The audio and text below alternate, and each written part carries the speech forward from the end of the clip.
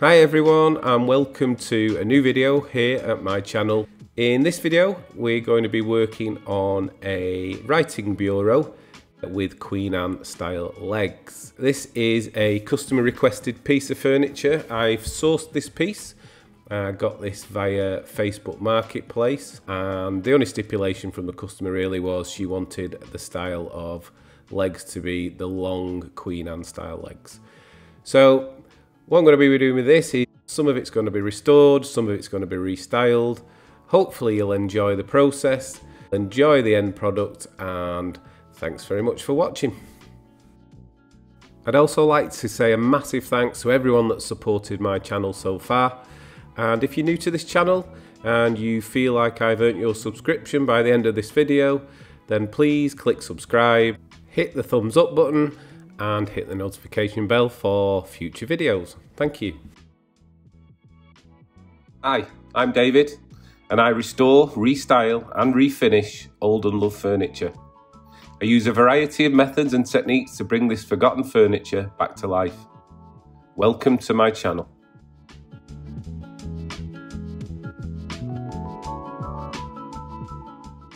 This piece wasn't massively dirty, but I tend to clean all my pieces before I start anyway. And you are surprised with the amount of muck that comes off these at the end. So it's just part of my process and that's what I'm doing here.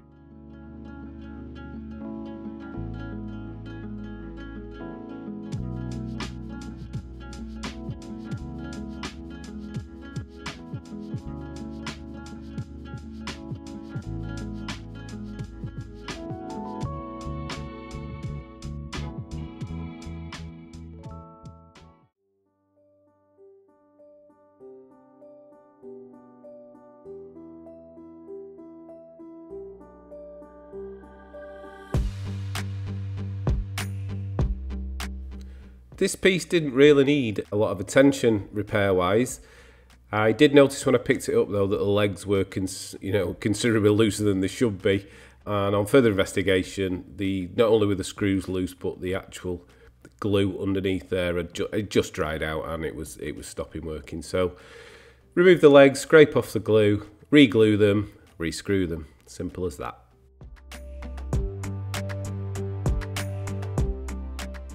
I've got another little helper this week, Trevor, the uh, the Shih Tzu. He's my sister-in-law's dog, and we've got him for the week while they're on holiday. Uh, he appears later on in the video. Daisy's not particularly happy sharing the limelight, but uh, she's going to have to learn to share, uh, which she's not very good at actually. And poor little Trevor has faced the uh, the wrath of Daisy a few times this week already.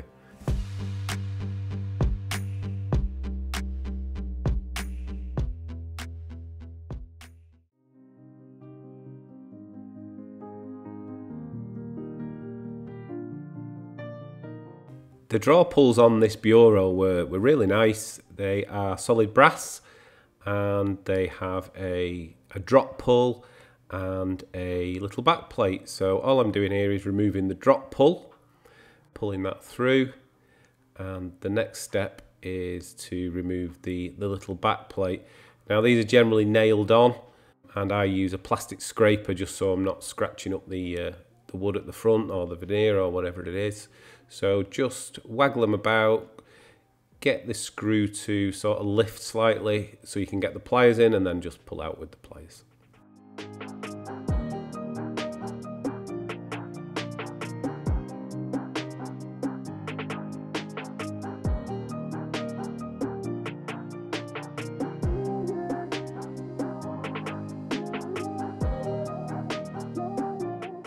The other hardware to remove on this piece of furniture was the hinges. There's two of those. And again, these were solid brass, just three screws on each side of the hinge. Just simply remove those, keep them to one side. The actual drop down itself had a, had a lock on. It wasn't brass, but it cleaned up okay. Further on in the video, you'll see how I, how I managed to do that. And the only other thing was a little key liner keyhole liner in brass. So turn it over, get a little punch, and you can see there just the outline of the inside of the key liner. So line it up with that, little tap, not too hard, and just pull it out the other side. Sorry for the focus. This was a bit of a pain to remove because it was nailed in, but I needed to remove this due to the design that I was doing. So just took me time and was as careful as I could be.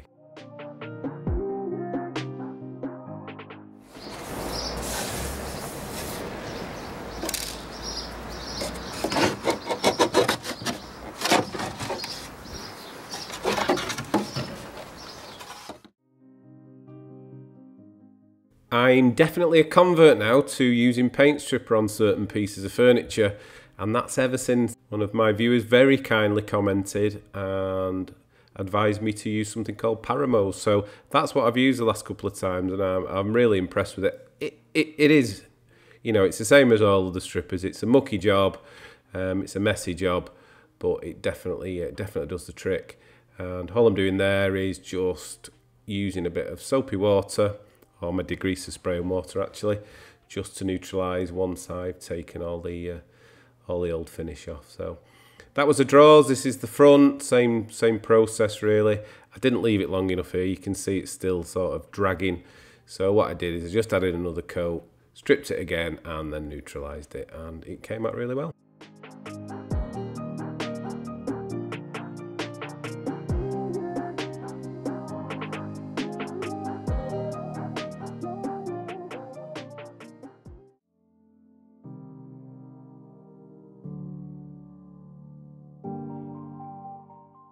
The body of the bureau is simply getting a scuff sand. And the reason for that is because it's going to be painted as part of the overall design. As you can see there, I'm using an interface pad, just a little sponge pad for the shaped feet, or shaped legs, should I say, just so I don't flatten off that, uh, that rounded Queen Anne finish.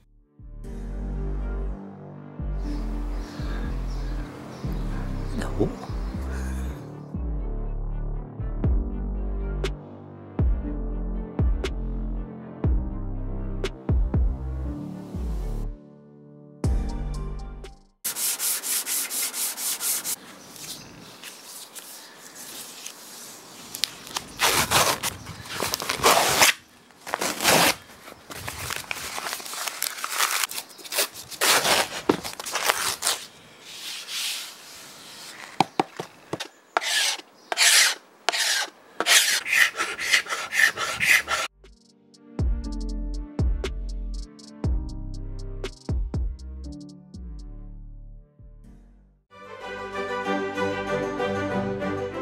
I'd like to say a special thank you to one of my subscribers, Rhiannon, Rhiannon of the Wood, for supporting uh, this channel through the Buy Me a Coffee app, specifically to buy Daisy some treats. Just to let you know, I've bought her some treats and I bought her a new toy, which she absolutely loves. Thanks, Rhiannon.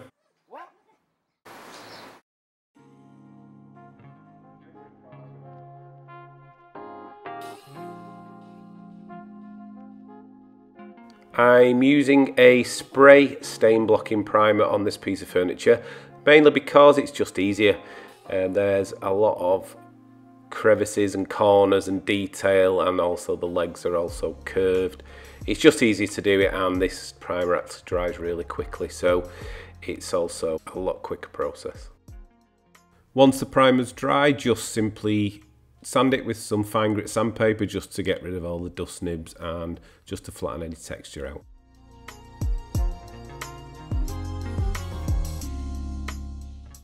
I love this colour paint. It's called Pelt by Farrow and Ball and the customer also loves it fortunately. It's not to everyone's taste but I hope you'll be pleasantly surprised at the end of this video. Don't make your judgment yet as you see it under the LED lights in my shop. Please just wait for the end and hopefully you'll like it. And if you don't, I'm sure you'll let me know in the comments. I've done quite a few writing bureaus now, probably about eight, and I, I tend to do a contrast design inside. I don't paint inside the same as the outside. And as you'll see, the thing that I took out earlier, the, the letter dividers, I tend to paint that the same colour as the body of the outside. So Oh, that makes sense at the end when you see it all staged and uh, ready for your opinion.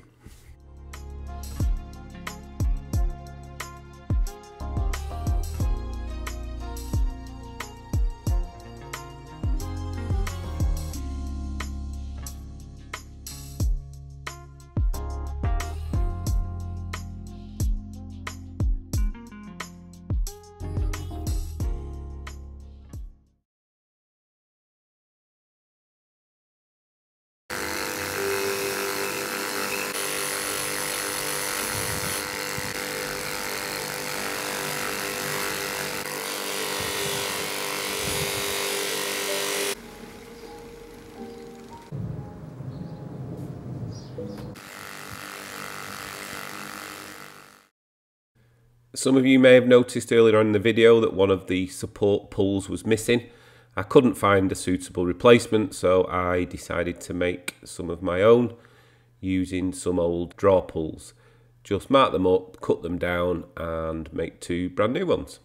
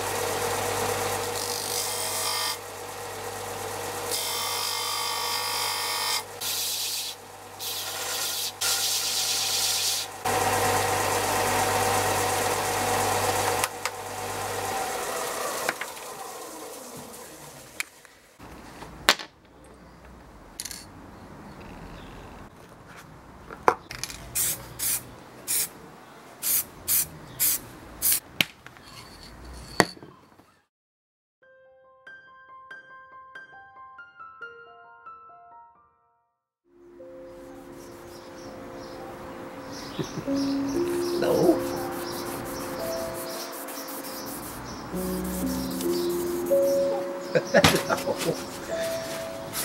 Hiya. Come here then. Come here. It's Trevor.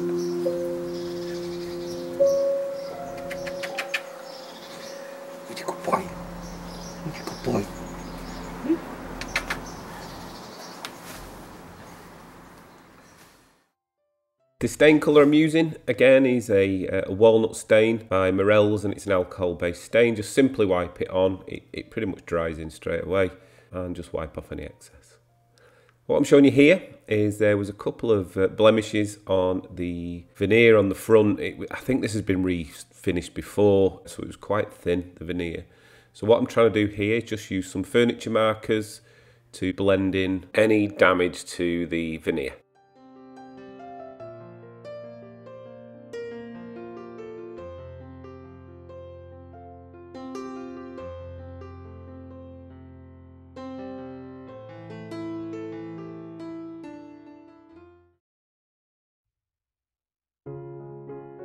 I'd like to add a little bit of detail to my pieces and this is a great material to use. It's, it's Liberon Gilt Cream and this is in a bright gold. Same as a gilding wax really. And you just simply apply it with your finger or with a brush and you can just leave it for 24 hours and it will fully harden and then you can just buff it off to a nice sheen.